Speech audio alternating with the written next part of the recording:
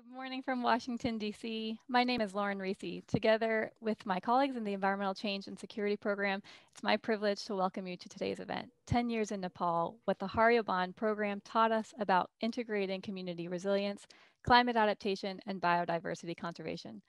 In keeping with one of the themes of the Hariyo Ban program, planning today's event was a really collaborative effort, and I'd like to thank the Hariyo Ban team, the staff in WWF, CARE, FICO FECOFUN, and USAID for helping to pull it all together. For those of you joining a Wilson Center event for the first time, a special welcome and a quick word about where you're tuning into. The Wilson Center is the living memorial to President Wilson. Our mandate is to bridge the worlds of policy, practice, and research through nonpartisan, independent analysis and open dialogue.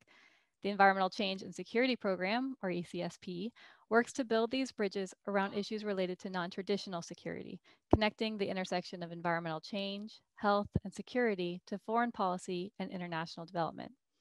Today's panel is a real treat for us to host.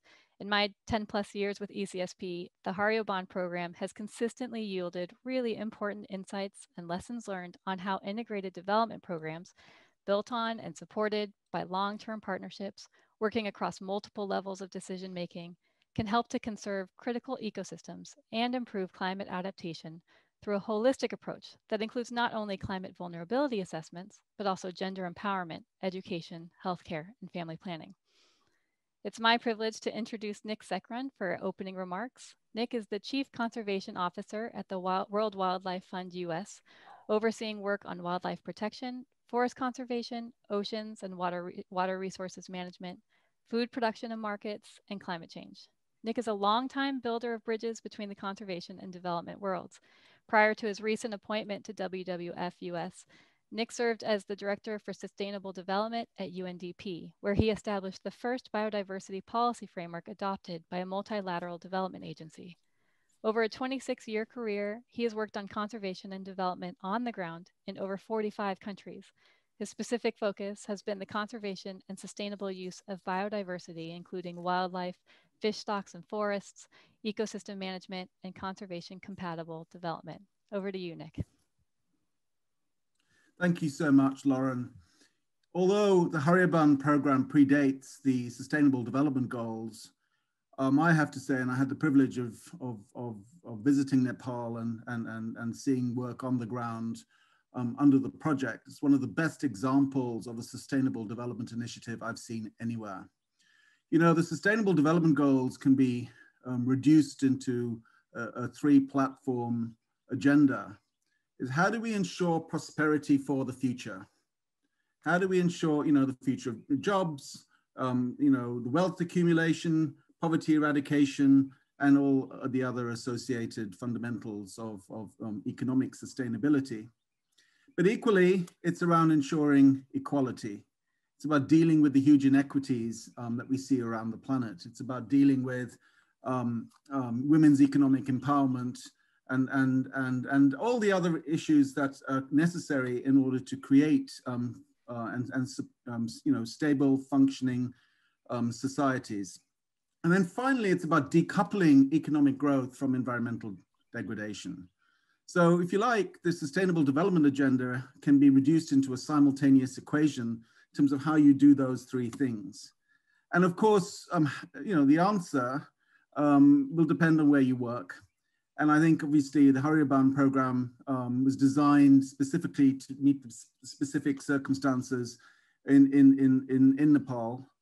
And, and I think has been very successful. Now this year um, is a major year in the, uh, you know, in terms of the global policy agenda um, on, the, on two fronts, biological diversity and climate change. We will see whether or not the Conference of Parties, um, to, you know, dealing with biological diversity and climate change respectively will meet as a result of, of COVID-19. But should they meet, um, there is a huge um, agenda in front of them. And of course, in, in climate change, it's around ensuring that the, um, you know, the meat of the Paris Declaration is met and that you know we drastically reduce emissions and, and we and we you know manage the major decarbonization of the global economy and we protect nature and and and you know so vital to ensuring our climate security. And on biological diversity it's around ensuring that we're reversing the trends of biological diversity loss around the world but ensuring that um, the stewards of biodiversity, local communities, indigenous people, and others, you know, benefit from that biodiversity, are able to use it sustainably. And so the Hariyo Ban program has done many of these things. Um, and, you know, from the climate perspective, it focused more on the adaptation side. I have to say that, um, you know, there are a lot of lessons to be drawn from it. Um, um, you know, for USAID, this has been, I think, a really great investment. We thank, thank USAID for that support. On our side in WWF, it's been wonderful to have so many local partners and also, you know, working with CARE, um, you know, truly takes a village to achieve sustainable development. And I think that that is what we have seen here. Nepal has been a good news story on, on, on the environment front, because notwithstanding lots of challenges, and you know transitions in terms of governance and, and, and so on and so forth. We have seen um, strong support across successive governments for um, environmental protection. We've seen an increase in forest cover over the past few decades. Populations of tigers and rhinos have, are building up again. And we have very strong support at the grassroots level from um, local communities and civil society for the agenda. And I think this in this context, it's not something that we see everywhere.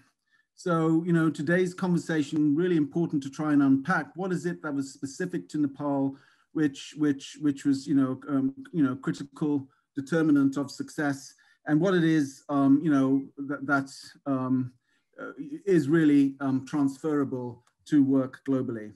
So I just want to end here by thanking USAID for um, support over the years thanking the Woodrow Wilson Center for hosting this event and wishing um, um, everyone a, a wonderful event, event this morning. Thank you. Thank you, Nick. Thank you for your leadership and also setting us up for a really great discussion today. Excuse me. Uh, let's turn now to our panel. I'm going to start by introducing the panelists. We'll then have a short presentation by Judy Oglethorpe about the Hariyo Ban program, followed by a discussion with the full panel. We will reserve the last 15 minutes or so for Q&A, so please feel free to email your questions at any point in the discussion to ecsp at wilsoncenter.org. Please indicate your name, title, and affiliation with your submitted question. And if that wasn't clear, the information to do so is just below the video on the screen that you're looking at. So just scroll down and you'll see the email address there. Uh, so now for introductions, uh, I'm going to go in alphabetical order.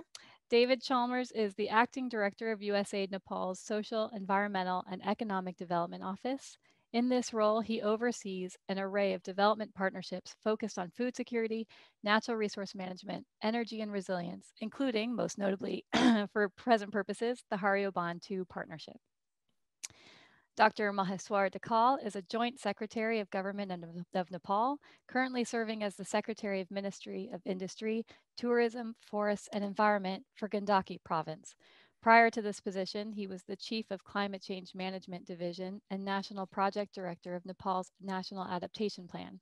Maheswar has extensive experience in forest management, protected area management, biodiversity conservation, forest and watershed, and community development, landscape level policy planning and decision making, and multilateral environmental agreements. Judy Oglethorpe was, was chief of party for WWF on the first phase of the Hariyo Ban program in Nepal. Before that, she worked for WWF on climate adaptation, population health environment programming, community-based conservation, armed conflict and conservation, and large-scale conservation approaches. Judy also has 14 years of conservation experience in East and Southern Africa. Bharati Pathak is currently working as the chairperson of the Federation of Community Forestry Users Nepal, or FECOFUN. She is a master's graduate in rural development. Born and raised in Makwanpur, Nepal, she has worked more than 25 years in the community forestry rights sector of Nepal. Mona Sherpa is a women's rights activist with over 20 years experience in the development sector, specializing in gender, social inclusion, and governance. She is currently the Assistant Country Director of CARE Nepal, where she leads the business development, program quality, and learning portfolio. She's a prominent figure in Nepal's social movements and has contributed in strengthening advocacy and policy framework reform for equitable actions through her association with various regional and global movements. Again, we'll reserve the last 15 minutes or so for questions, so please email your questions at any point in the discussion. Uh, I'm going to turn it over now to Judy Oglethorpe for a presentation on the program. Thank you very much, Lauren. And uh, I was very privileged to work in Nepal for five years on the first phase of Hariyo Ban. And I have to say that those were some of the most rewarding years of, of my career. Um, so today I'm going to talk about the, the background environment for the program in Nepal. Then I'm going to talk about Hariyo Ban, uh, how it responded to changes and opportunities. And then I'm going to finish up with some key successes and lessons.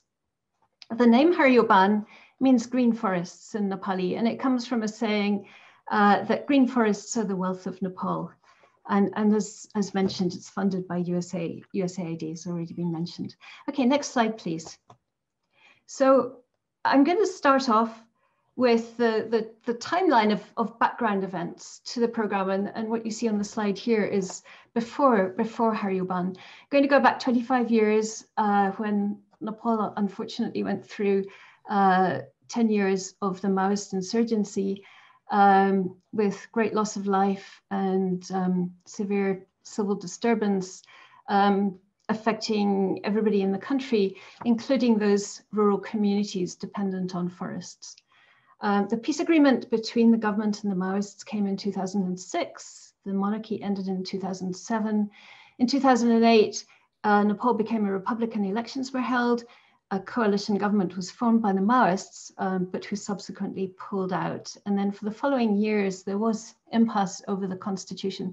So if I could have the next slide, please. Um, so this was the setting when Hariyo Ban started with a transition to peace, uh, successive governments, and efforts to develop a constitution. Uh, and this process continued. So in the same year that the project started, um, 2011, the United Nations Peace Monitoring Mission ended. The following year, uh, there was integration of the former rebel fighters into the military as part of the peace process. Um, but yet again, the Constituent Assembly dissolved after failing to produce a, a, a draft constitution. There was severe flooding in the Terai in 2014, 2017. And then 2015, a major earthquake hit Nepal um, with the epicenter in, in the middle of one of the landscapes where Hariyo Ban works, a severe loss of life, damage to property and infrastructure, uh, and severe impacts on, on rural households. Um, a few months later, the, the constitution was finally passed, defining Nepal as a secular country. Um, and that was followed by a six, six month blockade of the Indian border protesting the constitution which meant severe fuel shortages in the country and uh, huge problems in doing um, recovery and reconstruction work because materials couldn't get in. Um, in 2017, uh, on, on the bright side, um, so general election was held and government was restructured. Uh, and then in 2020, the COVID-19 pandemic struck and, and severely affected Nepal. So that's the that's the background to to Hariyo Ban um, in the years leading up to it, and and then during its its 10 years. Could I have the next slide, please? So the goal of the Hariyo Ban program is to increase ecological and community resilience in two biodiverse landscapes in Nepal. It has two main components, biodiversity conservation and climate adaptation. In the first phase, there was also a climate mitigation, a sustainable landscapes component. Uh, and then the program has three cross-cutting themes, gender and social inclusion, governance, and market-based livelihoods. Next slide, please.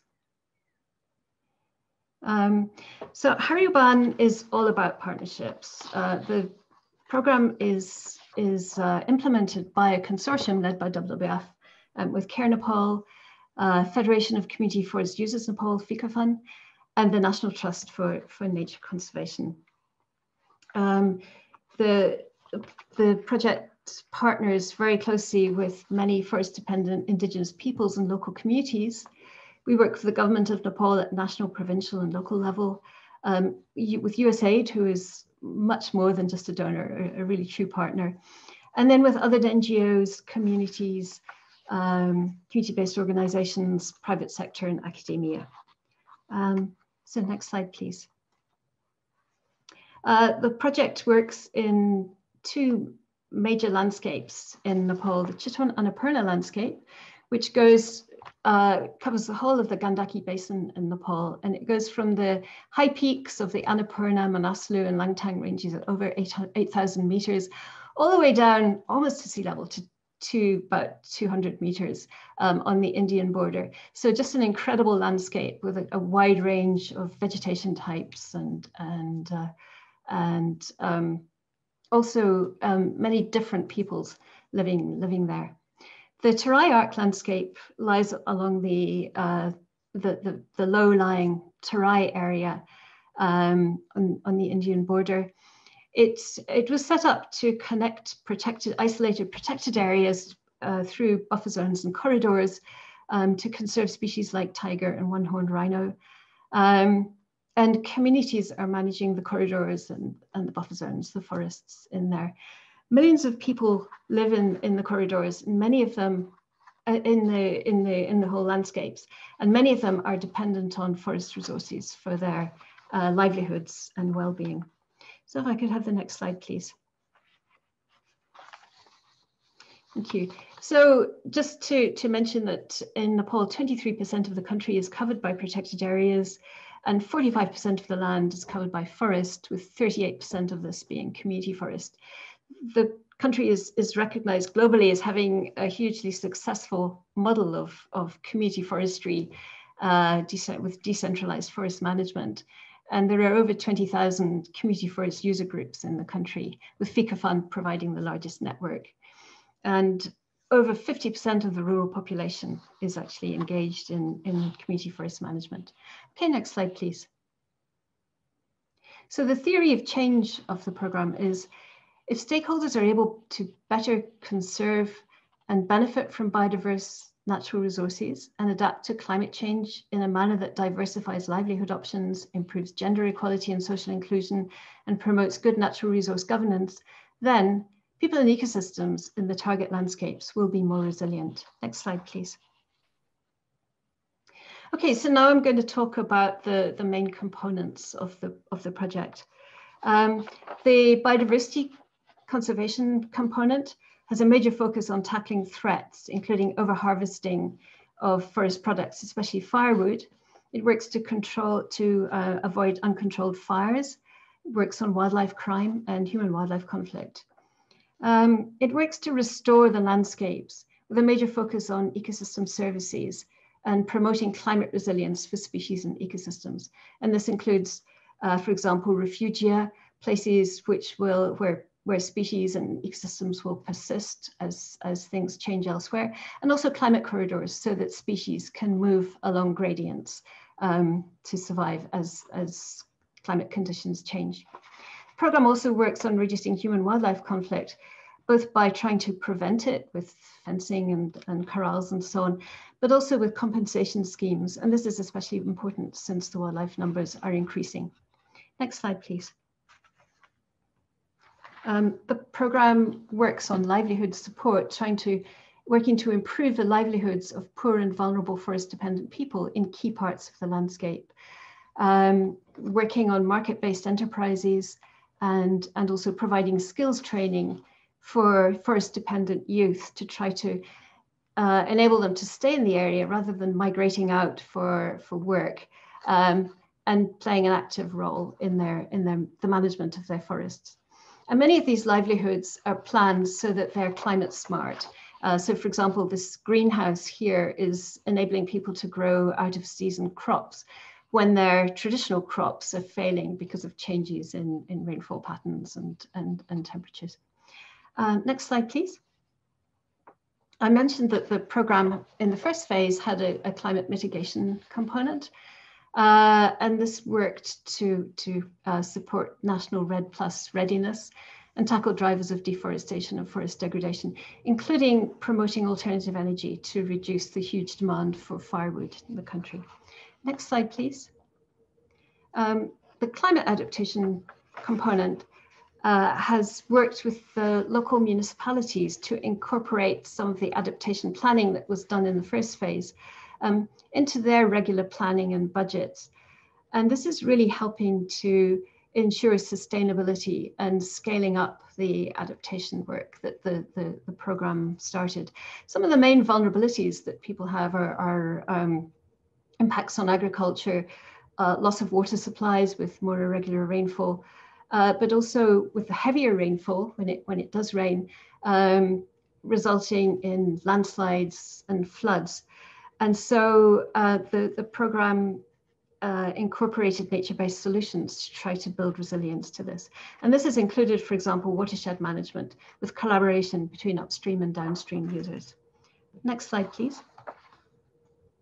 Uh, the program works to improve the internal governance of natural resource management groups, uh, helping them to uh, improve their internal systems, improve their technical management of their forests, um, and also in, in um, ensuring that there's a fair benefit sharing of the, the benefits from community forests. Um, and uh, one of the important things that they've been doing is, is leveraging resources to help them with their, their work in managing their forests. Um, natural resource management groups have actually leveraged $1.3 million. And along with other groups working, other partners working with the project, the program has, has helped partners to leverage about $1.8 million altogether. Next slide, please. Um, the program also has a component on gender and social inclusion. Um, and this has been, uh, this cuts across both the, the biodiversity conservation work, the forest management, um, and also climate adaptation.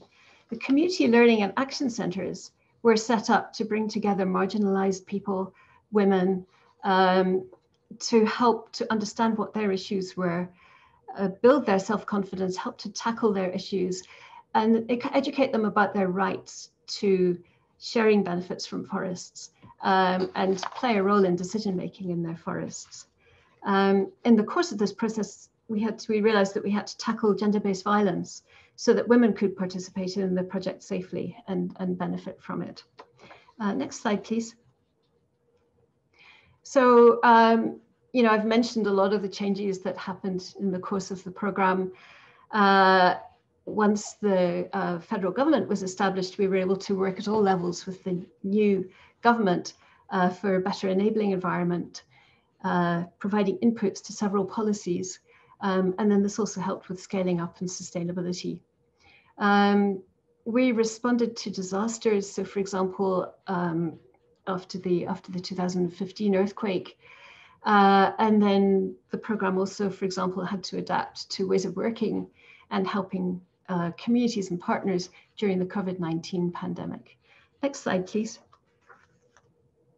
Um, so factors contributing to the program's success, I, I think the, the composition of the program's consortium with both development and conservation NGOs was very important because that gave us a much broader reach. Uh, I'm not going to go through all of these now. Some of them will come up in the panel discussion. Um, but for example, we had a small grants program that enabled us to reach further, um, to, to support new partners, to take risks, trying out new activities. Uh, some of them worked. If they didn't, it you know some of them didn't. But but we could take risks and try new approaches. And then it also enabled us to respond quickly to emergencies. And then finally, I think um, one other thing that was was key to the program was was having 10 years because it takes a long time to build trust and relationships in these complex situations. Next slide, please. So some of the lessons that we learned, um, and there are many more obviously, uh, but I think, you know, ensuring that there's adequate knowledge before going into the field. And this includes knowing where the critical parts of the landscape are to work rather than being spread too thinly um, adopting a river basin approach in landscape conservation. And I think, you know, having a greater focus on water, we, we did come to have a great focus on water, but I think having, if we could have had a greater focus on water right from the beginning, it would have been great. Um, involving the private sector early on uh, to bring in their advice, to know what their interests are uh, when developing livelihood and enterprise models would have been helpful. Um, and then ensuring that we were collecting enough baseline data in order to quantify results and, and demonstrate the scale of achievements. Next slide, please. So uh, I'm just about winding up. Uh, I just want to acknowledge the huge commitment of many people who made the Hariyo Ban program possible, including all the consortium partners um, and the core program team. Um, the government of Nepal, which has been uh, a really amazing partner to work with. Uh, USAID, we many, many thanks for, for all your support. Uh, I want to say a big thank you to all the Indigenous peoples communities and community-based organizations uh, who we had the, the privilege of working with. Um, other civil society partners, the private sector partners and academic institutions. Thank you all very, very much indeed. Thank you.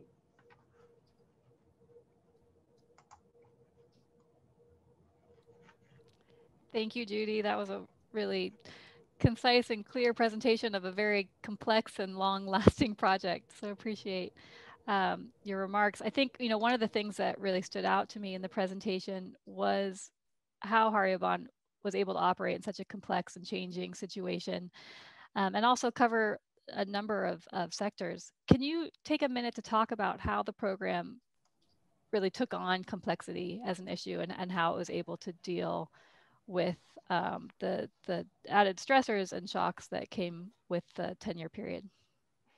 Yeah, thank you. I think um, th there were several factors involved. I think the fact that we could work across multiple scales really enabled us to angle our approaches. Uh, at, you know, we could work at the right scale for the right issue, um, sort of ecologically, socially, and politically. And this was meant going from community to national scale, from site level to landscape scale. So being able to, to move across different scales was really valuable.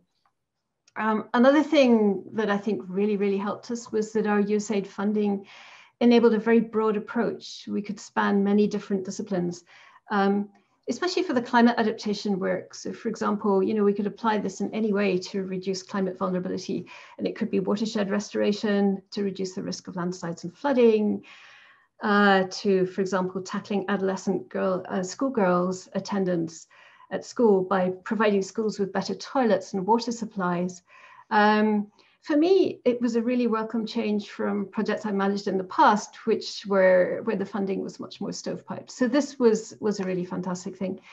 Um, and the fact that the funding gave us flexibility to respond to new opportunities, um, the grants program being an example of that. Um, I think having livelihoods, governance, and, Je and GESI, gender and social inclusion, as cross-cutting components was really valuable and it enabled us to bring the main components closer together as well and, and enabled us to tackle a lot of societal issues which were essential in order to achieve the, the program's objectives.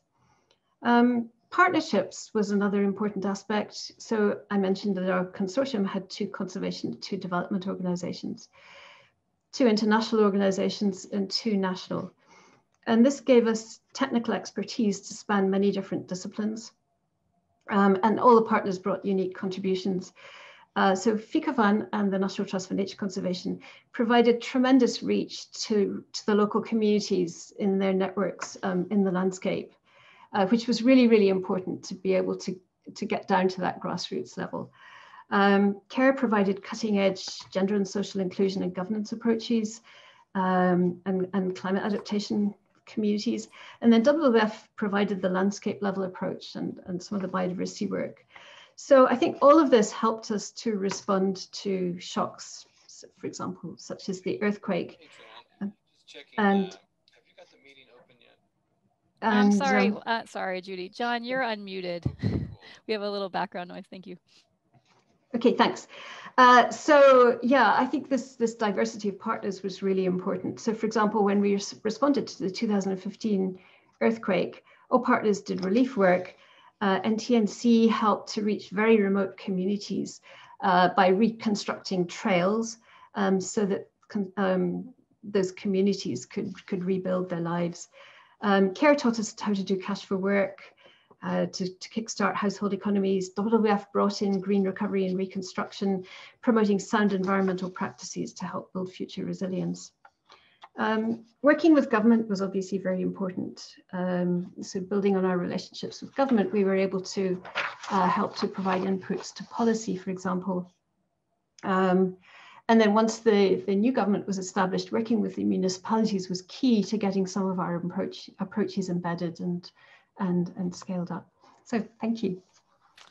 Thank you, Judy. It's a lot, a lot of lessons packed in. Um, you know, you mentioned gender empowerment and social inclusion as an important cross-cutting component to Hariyo Ban.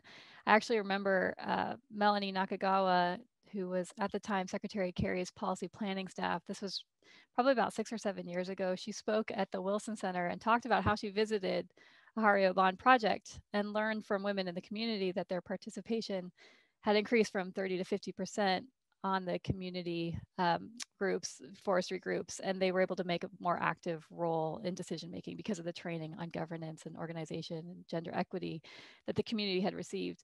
Um, Bharati, can you tell us more about how the program was able to improve governance and integrate gender and social inclusion in community forests? Uh, is this something that FECOFUN plans to continue and, and perhaps scale up in the future? Yeah. Uh, thank you. Thank you so much. Um, so thank you so much giving this opportunity. And Judy already mentioned the uh, all uh, coverage the like a Hariyo Ban example in Nepal and GESI and governance and climate change all governance process. So um, uh, and Hariyo Ban project uh, are spending more time in the community forest users group in Nepal. She already mentioned uh, her presentation. Uh, so starting phase in FECOFUN uh, playing to the very good role for the policy advocacy process like uh, our government uh, making and already made a, a, different policy and act and the guideline and forest sector uh, policies. So that time we uh, advocating and we uh, organize the dialogue with the government, bureaucrats and different level stakeholder uh, about the community rights and the women rights and the, who are marginalized people who are working in the community level. So we are um, continue dialogue with the um, government and different stakeholders. So uh, we improved in the community level and the governance and the uh, Uh, GESI process uh, in the grassroots level. So uh, in the example, very um, good and the um, model example in the community forest, you know, uh, our Forest Act and recently we got a Forest Act.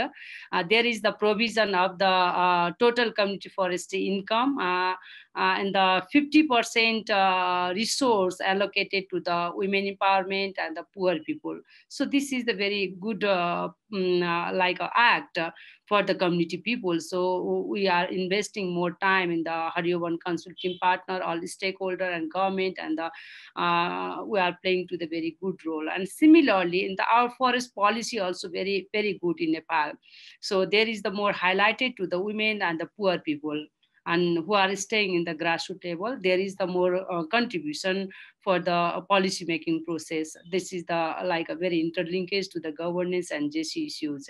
And not only in the recent policy and act, we made a community forestry guideline, you know, is the um, very, very good example and the, like a beauty for the community forestry and the women participation in the decision making process. In the 50% women uh, are in the uh, community forest users group. This is the uh, like a, uh, is the like our our uh, community forestry guideline and take a ownership in the took a ownership for the government. So this is the very good example. Is the Hariyo Ban project. We made a community forestry guideline and collectively and so we are implementing uh, in the grassroots level in the community forestry guideline uh, from the Hariyo Ban project and all consulting partner. So this is the very very very um, good practice in uh, Nepal and the, in the community forest users group. And similarly, mm, uh, uh, we are working and we are going to very closely work in the grassroots level and the governance and the GESI and all are together on that agenda. Uh, so one is one was the important for the how can we implementation the our policy in the grassroots level. That is the very interlinkage for the GESI and the governance process. So so this is our um, improvement from the Hariyo Ban project in the community users, community forest users group, and the other uh, natural resource group in the grassroots level. So another is the you know uh, like uh, uh, is the more supported to from the Hariyo Ban project in the capacity building for the institutionally and the community-based organization and the community forest users group in grassroots level, uh, especially and the gender equity and social inclusion and the, like uh, um, uh, different types of the support to the community member uh, like a, a leadership, uh, increase the uh, like a leadership. So that types of the we can see in the grassroots level, in the especially and all over the country in community forest users group are implementing the our guideline and the coming the women leadership and the poor people and the indigenous people and the Dalit community.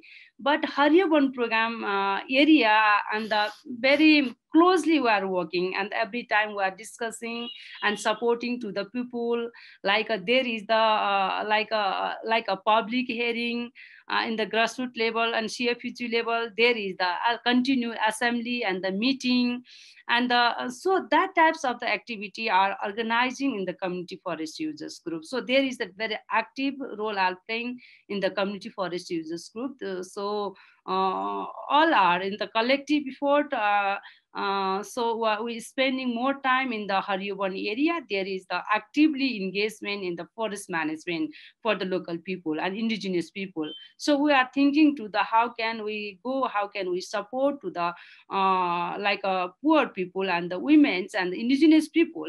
So um, uh, they got a chance for the Hariyo Ban from the Hariyo Ban project in support to the livelihood and many women and the grassroots women, we got they got a chance for the like a livelihood uh, supported program and the in the especially in FECOFUN, uh, we got a chance. We we we developed the capacity from the Hariyo Ban project and the all policy making process time. So we made a GESI a strategy, and uh, we made a, like a GESI action plan, and we made the IP's action plan. So we made uh, anti-corruption uh, policies and institutionally. So there is the, uh, some are supported to the all partners learning. Uh, so so that is the like uh, achievement that is the is the success for the like a uh, FECOFUN also so um, uh, we organized the uh, gender-based violence against the gender-based violence campaign in the community forest users group. So uh, I already mentioned the before uh, our panel discussion also, and every year we are mobilizing to the more than like uh, 200 uh, thousand people are mobilizing the against the gender-based violence. So, so this is the very uh, largest civil society network. So we mobilized to the uh, local community and we uh, made a community mobilization uh, like a guideline also. So we prepared to the some guideline with the consulting partner, like especially Care Nepal and Hariyo Ban and other consulting partner, uh, like actively engagement there. But that will be, that guideline will be supported to the, like a governance process and improve the governance in the community forest users group. So, so that, that is the, um, like a positive and um, uh, activity in the uh, from the Hariyo Ban project. So we we are uh, uh working many things. We got many things uh, success activity in the grassroots level and CFUG level. So we thinking we are thinking to the uh, scale up, you know, and our best practice. All CFUG we are trying to make a, like a model but we we started uh, like a, around like a 12 CFUG from the Hariyo Ban supported program in the model CFUG. And uh, now there is the like a uh, mainstreaming the women's in the CFUG, in model CFUG. This is the very good example. And like uh, there is the well-being ranking practice in the CFUG level, like uh, there is the regular meeting and they made a plan for the sustainable forest management plan. They are conserving the forest area and the biodiversity and the water and everything. They are conserving the soil also in the grassroots level and they are the um, empowering the women. There is the uh, like uh, allocated the resource for the livelihood and there is a very close relation with the local government you know. This is the very very very success uh, uh, like a practice. That's the and the second phase Hariyo Ban program we are started to the very close relation local government uh, and the community forest users group and the local federation and the province government and the federal government also supported to the uh, like a some grant to the community forest users group. This is the like a multiple effort and the uh, community users group got a chance uh, got it the chance. So that types of the um, activity and the well coordination, uh, like a uh, record keeping system and the documentation and re regular public hearing, that types of the activity, like uh, improving in the community forest users group. So that is the uh, very good uh, achievement. And another, we are thinking to the like a scale up in the future so many things. We are in the FECOFUN, uh, mm. we are making to the next 25 years the roadmap. So um, uh, overall, uh, like uh, uh, gender-based violence, against the gender-based violence, this is the, our commitment. This is the, our community forest users group commitment. I think our all consul team and the government also committed to the against the gender-based violence. So we are thinking the how can support to the economic empowerment through the community forest users group to the poor people, women and marginalized group and the indigenous people. So they are waiting our like a strategy and uh, our plan and our like a, uh, how is the investment plan and the, how we, how we can thinking. So that types of the activity and plan are waiting in the community forest users group and we are thinking. And another is the we are we already made a plan for the scale up in the outside of the Hariyo Ban area and our model CFUG practice. So that is the very important.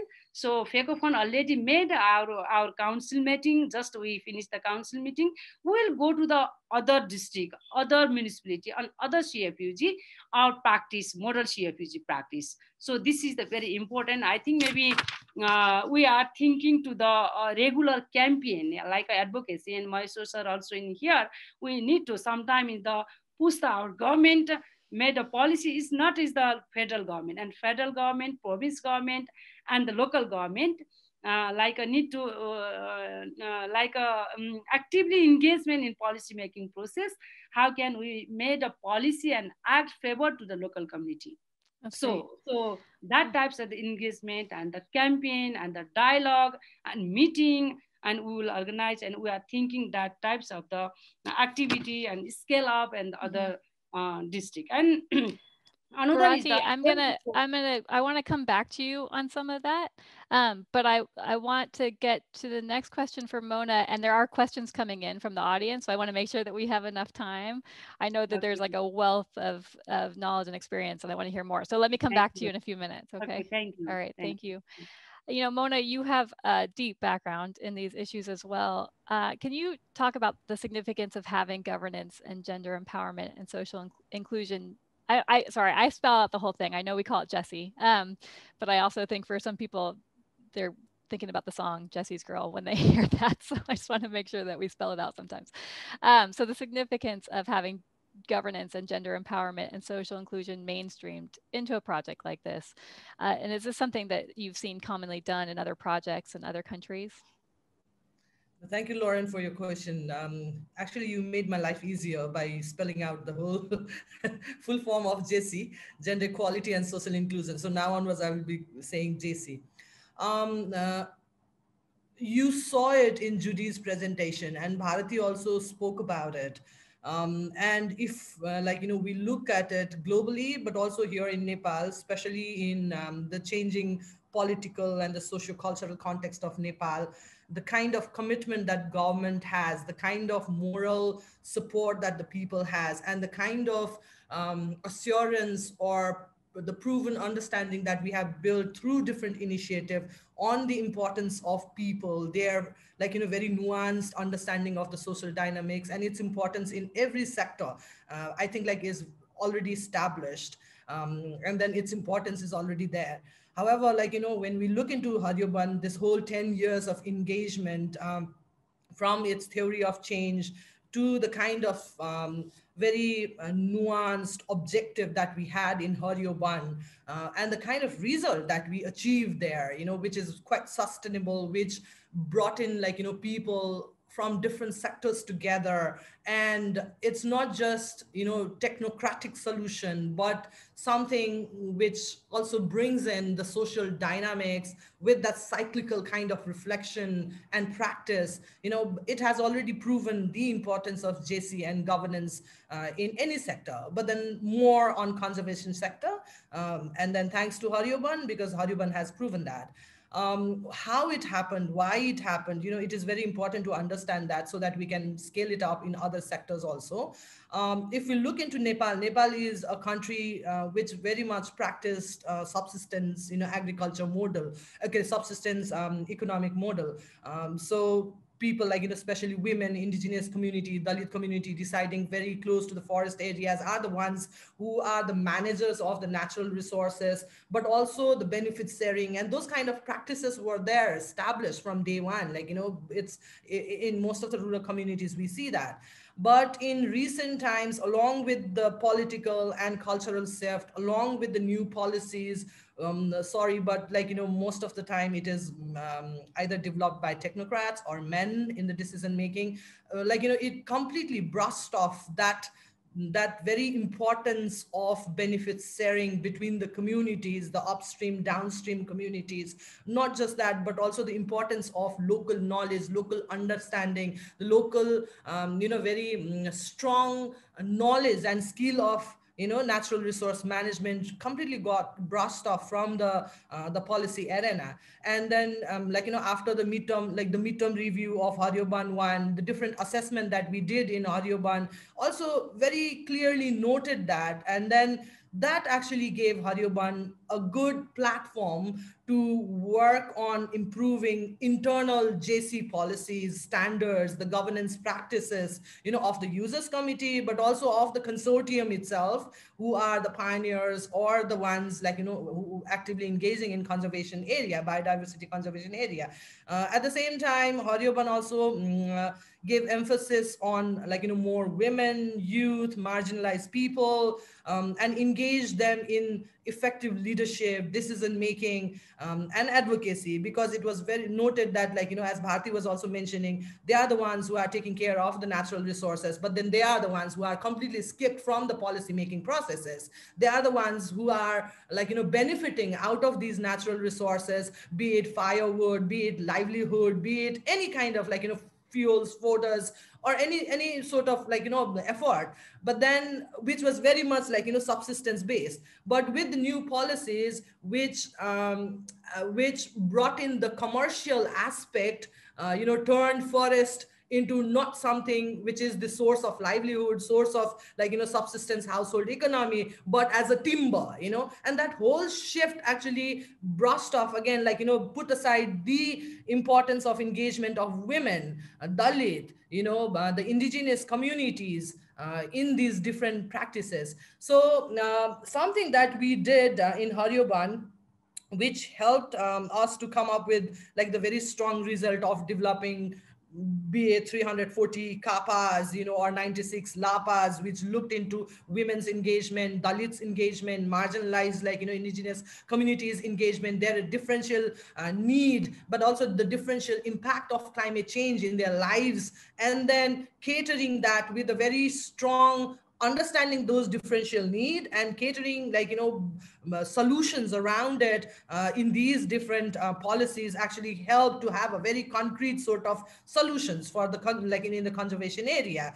Um, you know so something that we did was uh, sounds very simple but very powerful i must say um, like social analysis tool that we use which didn't like you know which looked into what are the gender roles? What are the different roles that these people are uh, like you know who are very much uh, dependent on the natural resource and forest are um, uh, uh, you know taking up? Uh, what kind of importance it hold who has more threat who are more vulnerable you know and then why they are vulnerable. Is it just because of the climate change or also because of the social construct? You know is it just because of um, again the like you know conservation related uh, technical aspects or also because you know uh, the the impact of climate change itself is more on them or because they are lesser in power relation or why they are in a threatful situation what makes them vulnerable. You know so those kind of power mapping um,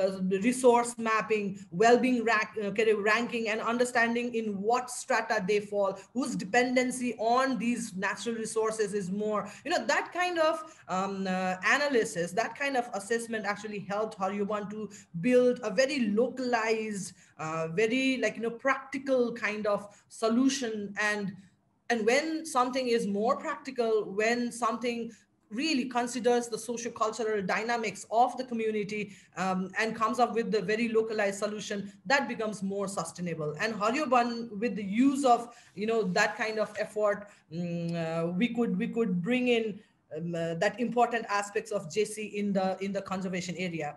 But also when we look into GESI like you know what we always say is what is the position of these vulnerable and marginalized community and what is their condition. So you know and then when we look into both the position and condition that is where we'll also look into one definitely there as i said earlier their dependency on the forest natural resource um, uh, resources but also in terms of power where they are you know in different assessment we definitely found out there was a huge gap in leadership. There was a huge gap in capacity. There was a huge gap in their you know using their indigenous skills but also uh, filling up with the required technical skills on them so that these both can come together. You know there was a huge gap around it. So something that Hariyo Ban did through the governance effort and the entry point definitely was as Judy was mentioning CLAC you know this community learning and action um, centers it became an entry entry point where all these women dalit you know indigenous people with a differential need actually could come together. Those who fell into like you know we had these four different categories of who is like well-to-do families or who are well-to-do people and who are not and why you know? So in this class people like you know especially women and men they could actually have a very intense sort of discussion which helped them to understand where they are and why they are in that position, which itself is a process of conscientization, I would say. And then with that sort of understanding and information, they could get into collective action and also break the culture of violence, like, you know, this voicelessness, a culture of silence, um, and come up with a very um, strong, you know, um, um, um uh, solution, which actually brought the social dynamics and the conservation together. Be it like, you know, dealing with the whole human wildlife conflict issues, be it like, you know, looking looking into the crime aspect of the like you know conservation or also the climate vulnerabilities. So clac actually helped them uh, to to be aware uh, of their situation but also come up with a very concrete action plans. And those action plans were the ones who actually which actually uh, like you know covered or catered or captured the local you know knowledge skills of those people along with the technical aspects uh, something that Hariyo Ban also did, I would say, like, you know, mm, uh, and, and which also again helped in establishing the importance of GESI um, uh, in conservation was, as Judy was also mentioning, that whole landscape, you know, conservation practice. And then that is where Nepal, you know, being a very multicultural, multi-ethnic community, um, and natural resource definitely being the source of power, many times who holds that and who has the power you know when the upstream like you know people or the communities from the upstream areas if has a hold on natural resource what it means to the people in the downstream area. And then like you know like people in downstream area but who within those downstream you know people? Is it women? Is it dalit? Like how they are affected? You know considering those kind of um, social dynamics or social political dynamics, the power dynamics. It helped us to come up with a very strong, you know, LAPA, um, and then also like this whole, um, uh, we call it like this integrated sub-water, um, can I say, management uh, practices, you know. So those kind of uh, plans, we, we could come up with that. And it also helped in reducing the conflict between these upstream and downstream communities and more work in a very harmonized and coherent manner. So, you know, and then the CLAC that I mentioned, when we got into several sort of discussions and look like, you know, why women are regarded as a second sex or why marginalized community are in that, you know, situation, why they are in a sec secondary position, why they are not part of the policy consultations, uh, we also figured out like you know um, or the women they also figured out that because of their gender role because of the confined mobility because of those like you know social norms which are there the harmful practices which are there they haven't been able to come out. So the good part is when we got into that whole conscientization process in clac you know they were the ones who themselves came up with these different solutions be it having a campaign or against gender-based violence or tackling with it, be it like, you know, having a very concrete campaign against um, alcoholism, uh, be it like, you know, having a very strong dialogue with the local government, which is again, like, you know, the aspects of governance, I would say. So those kind of leadership building, capacity enhancement, empowerment, you know, it happened only when we had a very thorough analysis of the community, be it through the tool like on like you know underlying causes of poverty analysis or social analysis tool or like you know differentiating differential um, impact assessment and response planning and all. So those using those tools, we could come up with a very strong, you know, uh, plans and policies, and which later on was incorporated in the government's local government's plan, you know, or their guidelines. And then with the right kind of resourcing, uh, with the right kind of understanding and internalization by the local government, also it got like you know implemented or operationalized and similarly triggered at the various level so you know if we look into this whole aspect many times people say okay it's a conservation program so it will just look into the like you know the technical conservation piece but when we bring in this social dynamics along with the conservation effort, it actually helps us to understand um, uh, things in a different manner, or it gives a, like you know, as Judy was mentioning, it actually broadens the whole horizon to have a multiple sort of local initiative, which has a sustainable um, uh, sustainable impact i would say you know which remains even after the project is over which actually helps to bring in new social norms new you know which which helps those women to be a new woman i would say like you know or a new man you know so even even like you know um, like here i'm talking more of women uh, but then uh, the practice like male champions mm-hmm. you know to engage in that whole process to emancipate themselves from the grip of patriarchy and from that you know burden of having leadership all the time to have a very co-creating kind of environment you know where where they together work on any initiatives or any plans any sol- solutions. And working together is always good. So, and conservation and ecology is all biodiversity is all about it, bringing this diverse nature, diverse people, diverse, you know, um, characteristics together. So, like, you know, um, that's why I would say it is very important, like, you know, the, the whole JCN governance piece. Um, if we just focus on the technical piece, it might give us a very strong, you know, recommended solution, but then um, to make it happen in a real manner, to come up with a very sustainable sort of solution, social dimension is also equally important. Yeah. And um, it also ensures that whole, um, you know, cyclical um, reflection, which is very much needed in our current society, I would say. Thank you so much, Mona. Uh, that's a good segue into talking about the role of the government. And Dr. Dhakal, I'd like to turn to you. You know, uh, I think everybody sort of underscored the importance of the project's relationship with the government.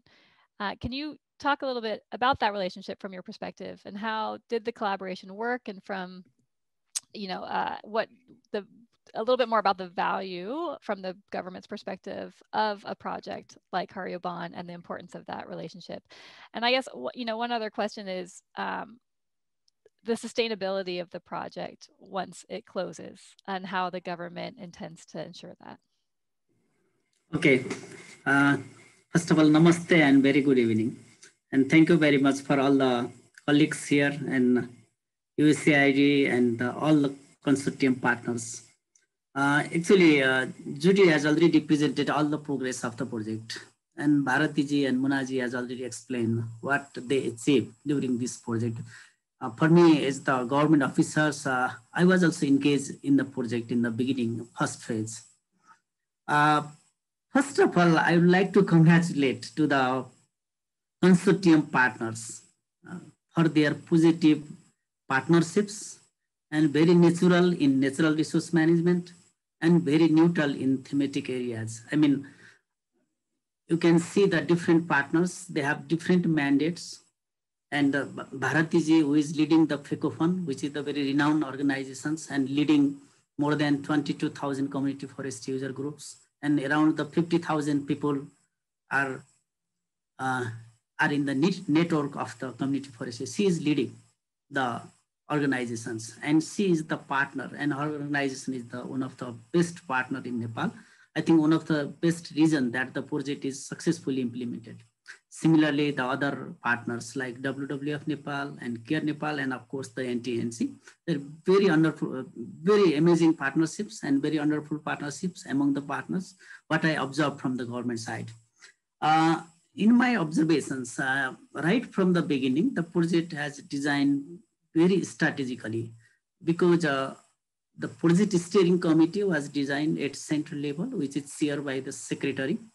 And at the same time, the project is also designed the uh, working group, which is led by the planning chief of the ministry and different focal points from the different departments. And I mean the very good networking uh, right from the beginning. And I think uh, till the project uh, end, the networking and that type of institutional mechanism was one of the important part and important aspect of this successful of this project.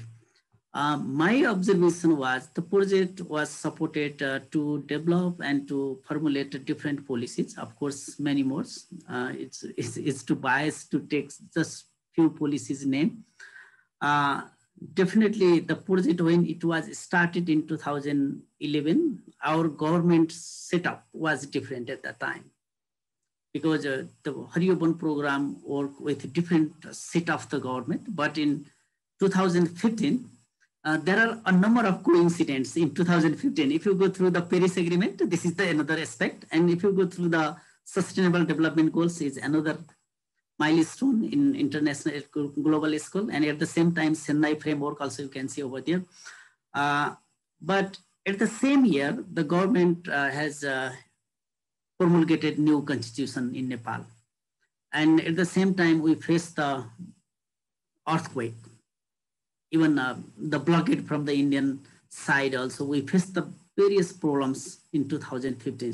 But important part is the Hariyo program is very nicely worked with the government, even in the very difficult positions, and is translated into the even different uh, set of the government. Because in after the new constitutions, we have three tiers of the government, and Hariyo program immediately changed the strategy and immediately coordinated with the federal government, provincial government, and local governments and it was the very wonderful part and even other projects can learn from the Hariyo one how they immediately change their strategy with respect to the government structural change. Uh, and regarding to the field achievements and observations, uh, in the beginning, even when I was uh, worked with the Department of National Park and Wildlife Conservations, we uh, involved various activities of species conservations, uh, particularly rhino, tiger, and other many species. Uh, definitely, uh, this is a good example of the landscape level approach. Uh, in the past, we had a very good experience with the landscape level approach in Terai Arc landscape. Even Terai Arc landscape, if you go through its philosophy or principles, the tiger was the fundamental part. But in Chitwan Annapurna landscape is the watershed basin or water is the fundamental part, which is the lifeline of each species and its ecosystem and other all human beings as well. Uh, that's why uh, this project has developed a number of uh, best practices from the ground. And um, even though the Nepalese geography and Nepalese society is so diverse, that's why you cannot assume or imagine that you can replicate every best practices to everywhere. is really difficult in, in our context, but definitely there are some best practices. And the government of Nepal, uh, of course, the provincial government and local government as well, we will uh, replicate. I mean, the, we will uh, outskill and of course the upskilling as well, uh, where and when it will be applicable. Uh, but uh, the project is very much successful, no doubt. But it does not mean that everything is finished in biodiversity conservation and climate change adaptation or mitigations. As you know, the COVID-19 pandemic just last year, we all people all over the world are equally infested and affected. That's why we have to think uh, differently to conserve our biodiversity because many species uh, and many ecosystems are, going to be vulnerable because of different disease and other climate induced disasters and other many reasons. That's why we do not have many choice to go through the green recovery strategy in, in the days to come. Particularly, uh, we have to think about the food security. How do we can support to the local communities to get the good nutrients and good food security? And similarly, the second, of course, we have to think still, uh, we have to think about the biodiversity. As you know, the tiger and rhino, the population was increased during the Hariyo Ban program, but I'm a bit doubt whether we can preserve them or protect them in the near futures. Even if you go through the sustainable development goals, the goal number 15, which is the life on the land. And the tiger and the rhino still they are really critical positions. That's why we need a very additional effort. Not only, uh, it does not mean that I'm asking to the donor parts, but of course the government itself should think and allocate as much as possible to conserve those species. And the third part is the water resources and the clean energy is the new issues if we are working on climate change. And Nepal has a very good opportunity to establish the I mean, the, to produce the clean energy through the hydropower and other solar means. And similarly, tourism, particularly my province where I'm leading here in Gandaki province, which is the very one of the beautiful city uh, by means of culture and natural resources. And the tourism is a part of green recovery uh, is the best area where the best practices of the Hariyo Ban program we can replicate and implement in the near futures. Uh, and similarly, we have to consider the social and gender part, which is Mona and Bharati, they emphasize on it because still the people living in the very rural areas and it's particularly women and the children. And the, nowadays, if you, uh, if I'm, I do not wrong, then the senior citizen of the society in the rural area, they are really serious in terms of uh, climate change impact or other uh, scarcity in terms of food security or other facility of the government. That's why we have, these are the main areas we have to think in the near futures. Uh, finally, I would like to share my sincere thanks to the United States, the people of the United States to support this program uh, and very good partnership with the government of Nepal. Of course, the consortium partners who prove and tested their positiveness, neutrality, and natural in natural resource conservations. And I look forward to see similar type of support in the near futures. And thank you very much. Thank you so much, Dr. Dhakal. Uh, David, you've been very patient. I'm going to turn to you now. Um, coming back to this issue of complexity, which I think will only continue to see grow in the years ahead. Uh, could you talk a bit about how USAID is dealing with changing risk and how it's working with the government of Nepal on this moving forward? Uh, sure. Uh, thank you, Lauren. It's, it's a great question. And let me start uh, by noting that USAID has been partnering with the government of Nepal for more than 70 years now. Uh, it's it's uh, we have quite a history, and the development context and risk profile in Nepal has changed a lot uh, in that time. So our programs, our approach to risk management, uh, have evolved too. But what hasn't changed is our commitment to Nepal and the friendship uh, we share. We have a really strong partnership, and I think Hariyo Ban is, is a great example of that. Uh, so in terms of how we're together dealing with uh, a constantly evolving set of risks, uh, it really is a shared effort between us, the government in Nepal, and our partners. Uh, and to start, it's, I think it's important to note that risk comes in many forms. Um, we really try to embrace taking certain types of programmatic risk when doing so is a good chance of generating a large development impact or learning of global relevance. Um, for example, our support for community-based forestry in Nepal, which was uh, rightly mentioned earlier as, as really a, a, globally recognized success story, was initially a, a, rather risky proposition in that its success was far from assured. With the benefit of hindsight, um, however, it's you know it's very clear that that was a risk well worth taking, and we, we see the results on the ground, including through the work of, of Hariyo Ban and FECOFUN. Um, other forms of risk, uh, you know, we really do everything within our power to eliminate entirely. Uh, for example, we have absolutely zero tolerance for sexual misconduct within our programs, our risk mitigation strategies in that regard are, are therefore aggressive and absolute, and, and that's something we're really um, uh, focused on uh, eliminating. Um, but I'd like to focus my contribution today on the broad category of risks that we might characterize as, as programmatic risk or the range of political, environmental, economic factors uh, that can jeopardize hard-won development gains and, and derail progress. Uh, as Mr. Dahal, uh, Dhakal knows very well, for example, we know that an increasingly variable climate characterized by more frequent and severe extreme climatic events uh, can undermine decades of development gains and, and very directly threaten health and welfare if, if not addressed. So due to climate change and, and other risk factors, uh, we employ a number of risk mitigation measures across our entire portfolio. That includes environmental safeguards. Uh, for example, the very large majority of our projects have an environmental mitigation and monitoring plan to address um, uh, environmental risks. Uh, climate risk management is, is another major focus area. And at Root, that's really about programming for uh, the range of future cl cl climate scenarios climate science tells us are, are possible and likely, and building in flexibility to adjust and adapt our programming uh, accordingly. Uh, that requires really close coordination between us, our partners, and our government counterparts. Um, Mr. Dhakal, for example, understands probably better than just about anyone the particular climate issues affecting Gandaki province um, because he addresses and lives those issues every day. So coordination at the provincial, municipal, and of course the national level is, is super important. Um, another thing we're really focused on uh, is adaptive mechanisms and award management. That includes, of course, really robust monitoring.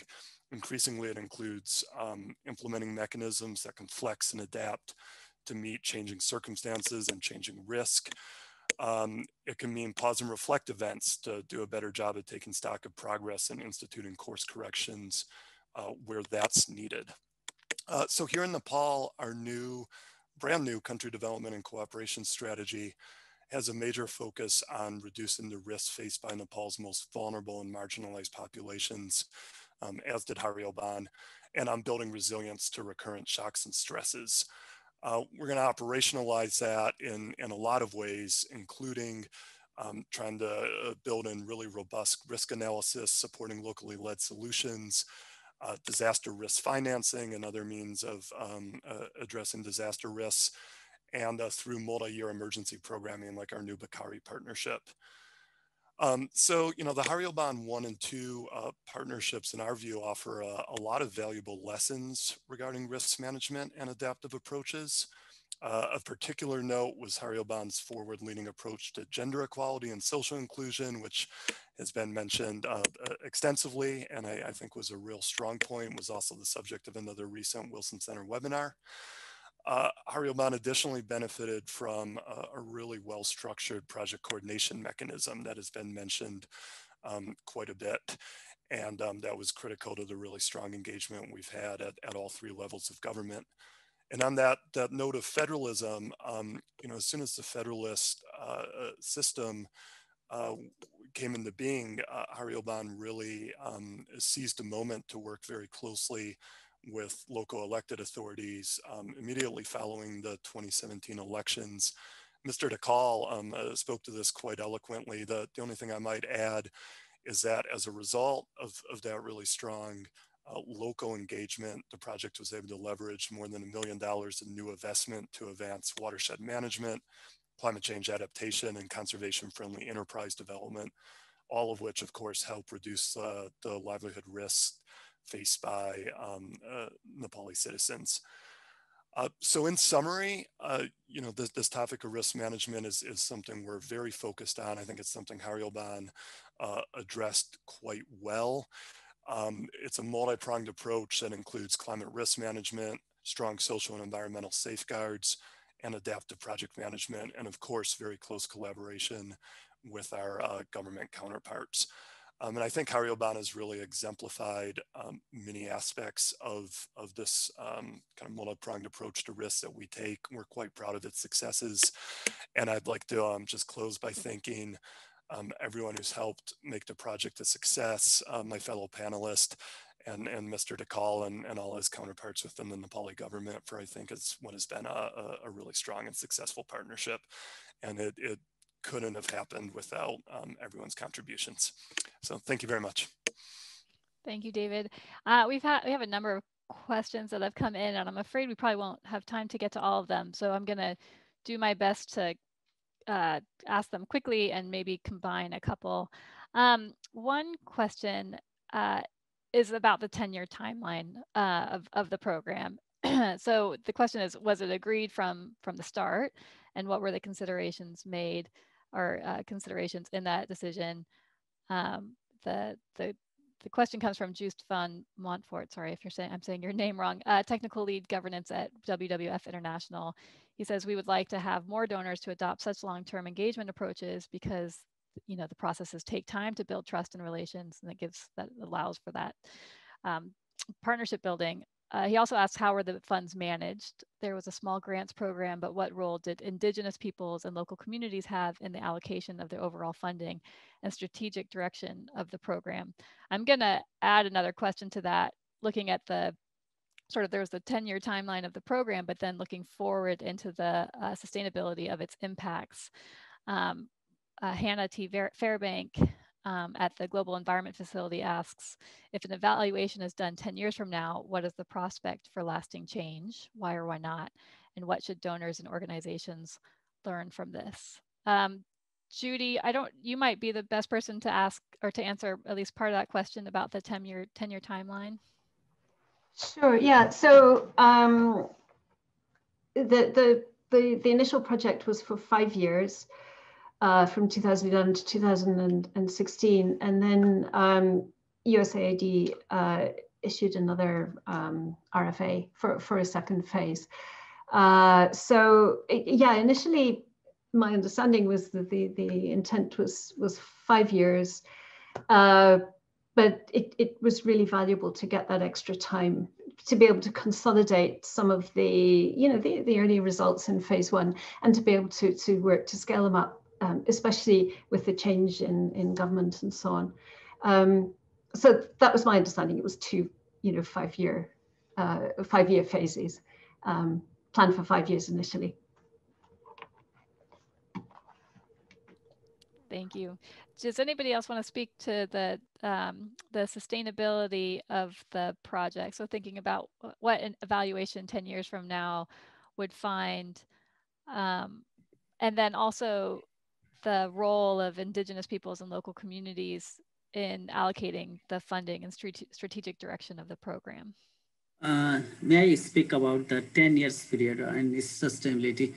Uh, yeah, I think, I think the question is very good and very important questions, but uh, my suggestion is uh, conservation of biodiversity, you cannot compare with the physical development. Now, for example, the 10 years periods, if you compare with the highway construction or other infrastructure development, then you can say whether it is 10 years is suitable or not. But in conservation, the time is not a big matter unless and until you, whether you continue or not, because every year or every seasons, the dynamics of the ecology is changing with different externalities. That's why time always is not a big deal.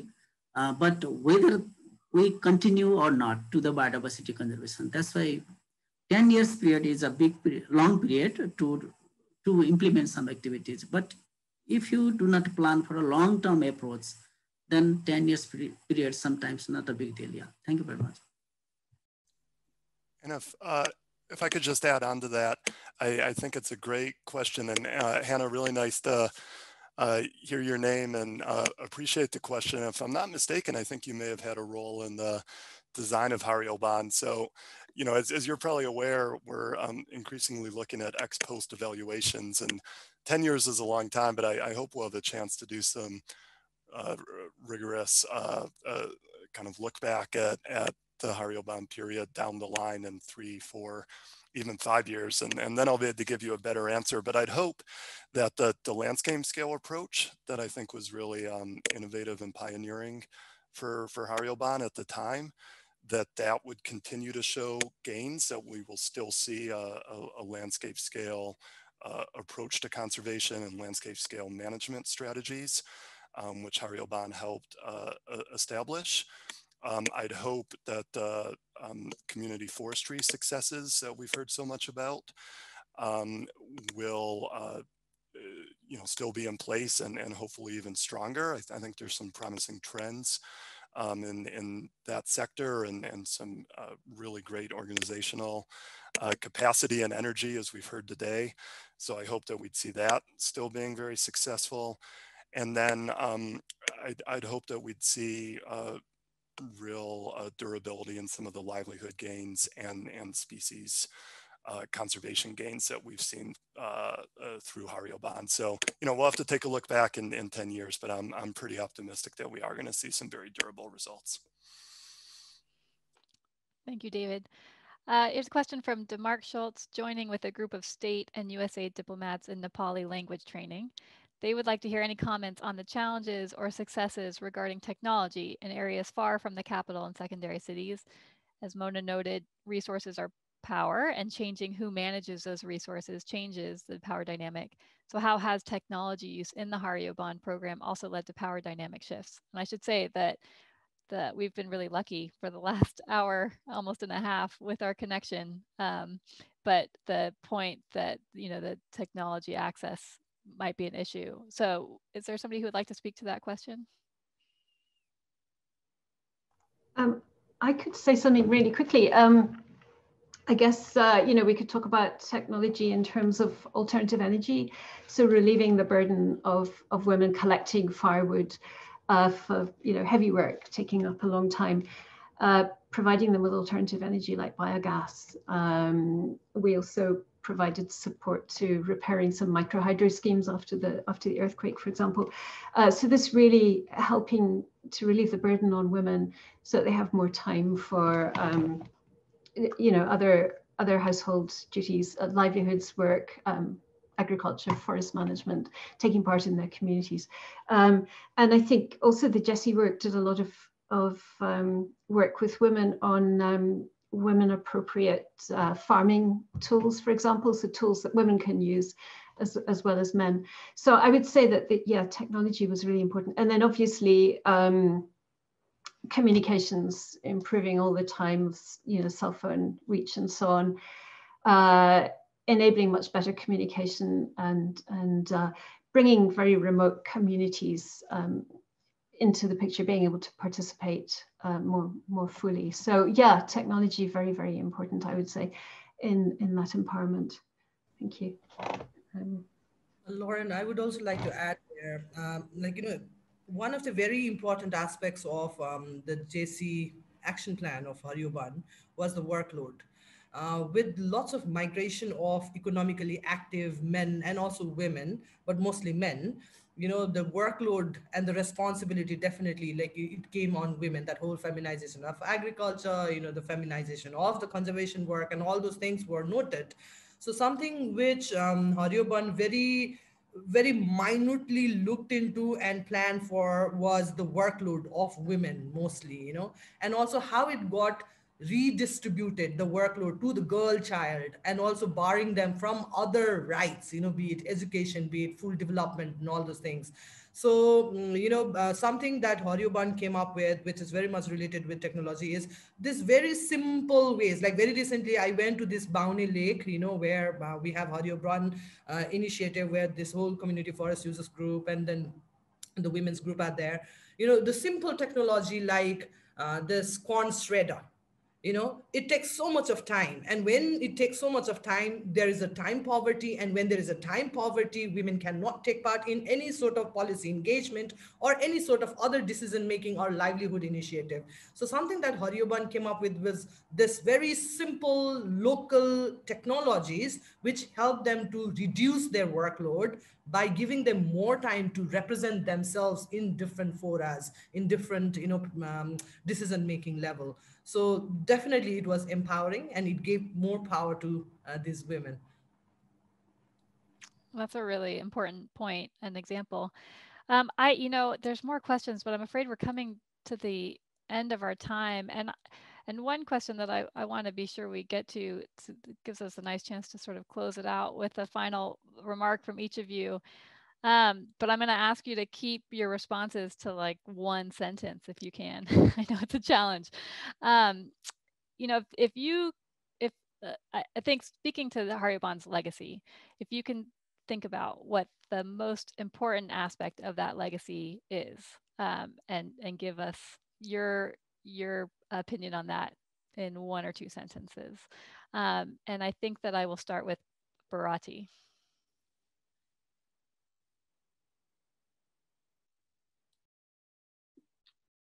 Um, thank you. I think maybe the uh, policy change is the important, uh, like our legacy all over here. Thank you. Thank you, Bharati. Uh, Dr. Dhakal.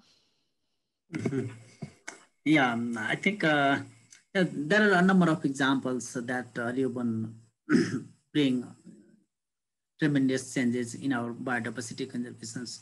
Uh, I, I, would, I would say the partnership, partnership among the consortium partners and coordination with the government and the institutional arrangement is one part, but supporting in uh, the biodiversity conservations, uh, I think it is a very appreciative part of the project. Yeah. great, thank you. Uh, Judy, over to you.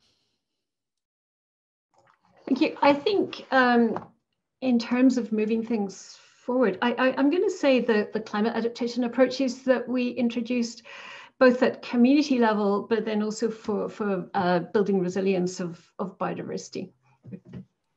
Great, thank you. Uh, David?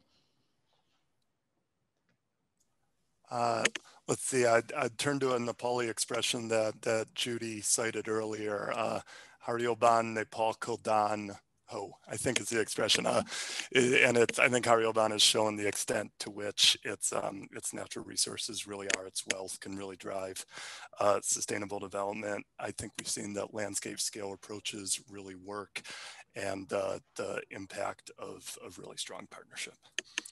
Thanks. Thank you. And Mona?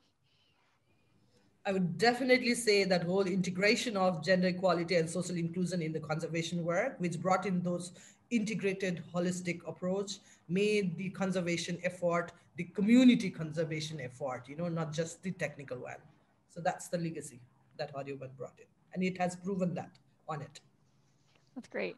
Well i want to thank each of you for your extraordinary leadership on this project and for taking the time today to share with us the lessons learned um, I wish you all the best. Uh, for those watching, a recording of today's event will be available on the Wilson Center event page in the next day or so. So if you missed any of it, you can come back um, and we'll certainly be in touch in the months ahead. Thank you so much and thank you for tuning in. Thank you so much for hosting us. Thank you. Thank you. Thank you.